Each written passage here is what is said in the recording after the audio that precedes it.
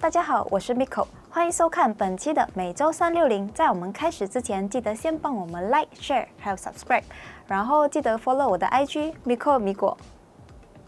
第一则新闻：Mercedes-Benz GLC 300 4MATIC CKD 本地组装版正式登场，价格更亲民，配备更丰富，直接便宜了五十一千马币，这个价钱都可以买到一辆 MyV。新车开价三百七十八千起。新一代 GLC 在四月份正式登陆我国，只不过当时是从国外 CBU 的方式在我国贩售。而上个星期，Mercedes-Benz Malaysia 就为我们带来了在彭亨州北干工厂生产的 CKD 本地组装版 GLC。新车依然是维持 GLC 300 4MATIC 单一车型可以选择，不过原厂为这款车增加了脚踢式尾门和全景天窗等 CBU 车型所没有的配备。由于只是 CKD 的车型，因此在外观上是没有差别的。它搭载了 AMG Line 运动空力套件，整体豪华稳重又不失运动感。可以看到，它有着 AMG Line 独有的满天星水箱护罩设计，并且有 Digital Light 的 LED 头灯组，加上运动化保险杆和二十寸的多辐式轮圈，整体造型相当 sporty。至于内饰，它就有原厂最新的家族式设计，有着十二点三寸的全液晶仪表和十一点九寸的 MBUX 触屏主机，可以支援 Apple CarPlay 和 Android Auto 也是一定的。另外，它还有原厂标志的六十四色氛围灯设计，加上原厂为它配备了天窗，往上开车氛围感十足。动力部分，它搭载了2.0 Turbo 引擎配耐 g Tronic 自排变速箱，最大马力表现258 horsepower，峰值扭力表现。四百牛米的，配备 4MATIC 四轮驱动系统。另外，为了符合更严格的排放法规，原厂为它导入了 MHEV 轻度混合动力系统，有额外的二十三 horsepower 加两百牛米的动力。但是，这主要是为车子的电力系统供电，以带来了更出色的油耗和降低排放而已。最后，全新的 GLC 三百 4MATIC CKD 版已经在本地发布。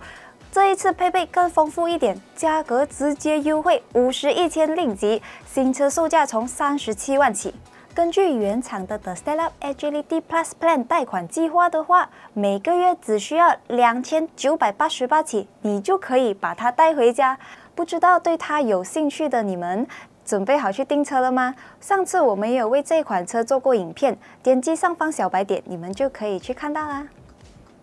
来到我们的第二则新闻，二零二三年 Mazda 3升级版本地销售员正式开放预定。在今年的四月份，原厂就在日本市场为当地的 Mazda 3推出了新年式的年度升级版车型。而近日就有本地 Mazda 销售人员在网上提前试出了这一次升级版本的配置详情，并且也抢在原厂正式发布前试出了这款车的售价。新款本地起步售价上涨了六千令吉，将从一百四十九千马币起售。这一次，它在本地将维持 Sedan 轿车版和 Liftback 掀背版两种车型，并且分为了 Mid、High、High Plus 和 iNight Edition，主要是会升级新的十点二五寸中控主机，同时支援无线 CarPlay 功能。只不过 Android Auto 还是需要数据线才能连接。另外，在最顶配的 i n i Edition 车型上，它还搭载了十二个 Bose 高级音响，以及加入了带 Stop and Go 的 ACC 功能。至于动力配置的部分，预计大马版还是维持了在1.5升和2.0升的 Skyactiv G 自然进气引擎双引擎的选项。其中前者最大马力表现一百一十八 horsepower，峰值扭力表现一百五十三牛德比特，而后者最大马力表现一百六十二 horsepower，峰值扭力表现两百一十三牛德米特，两者都是匹配了 Skyactiv Drive 六速自排变速箱。最后，目前原厂还是没有正式发布这一款车。但是销售员已经抢先试出了新款车的价格，每个车型的售价上涨五千至六千令吉。那大家对这一次的升级版还满意吗？在下方留言给我知道。来到我们的第三则新闻 Toyota Works 计划在印尼 CKD 本地组装，未来将销往更多东南亚市场，或许还有机会来到马来西亚市场哦。新一代的 Toyota Works 是在二零二二年一月份全球首发的。而近日，在泰国媒体 h e l i g h t Magazine 获得消息，这一款车将会在印尼进行 CKD 本地组装的工作，之后再出口至其他东南亚市场销售。根据他们消息确认 w a x y 会在泰国上市，而这一款车的到来将可以满足东南亚市场对于 MPV 车型日益增加的需求。并且也能和同级竞争对手 Nissan Serena 竞争。毕竟目前 Innova Z Nix 虽然是同级别的车款，但是因为没有侧滑门，因此对于家庭需求的消费者而言，多少都会有一些不方便。而有侧滑门的 w o x y 就正好填补了这个空缺。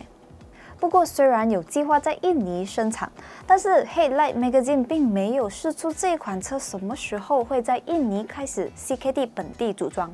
因此还要等原厂进一步的公布。至于未来会不会引进大马，就让我们一起期待 UMW 都有大公布的消息吧。这款车我们也有做过详细的影片，点击上方小白点就能观看啦。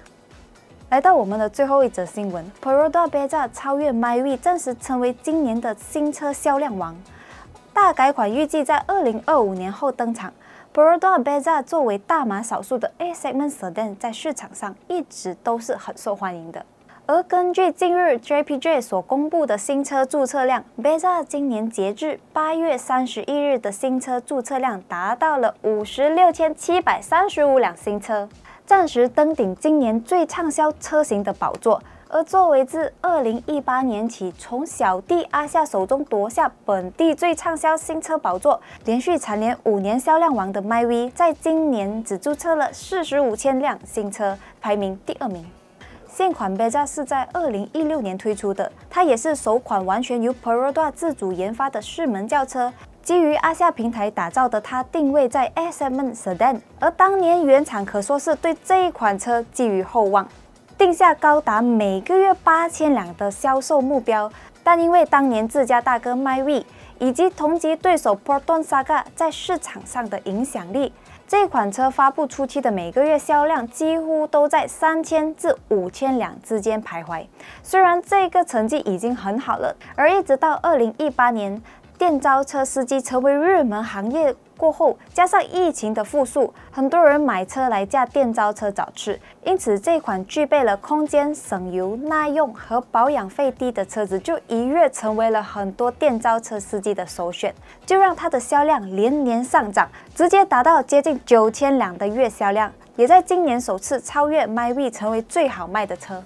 那这一款车现在还可以登顶销量第一的宝座，也足以见得它在市场上还是相当有竞争力的。因此，它的换代车型据悉并不会那么快推出，因为按照原厂一年推出一款全新的车型以及一款小改款车型的策略来看的话，明年原厂计划要发布 D 六十六 B SUV，而二零二五年可能还会有 D 零六 D MyV 即将登场。因此，新一代的 Beza 可能要在二零二六年之后才会登场了。当然，现在距离还有这么久，说不定原厂还会改变策略，多推出几款全新的车型也说不定。那样的话，到时候我们也可以更快看到换代车型的出现。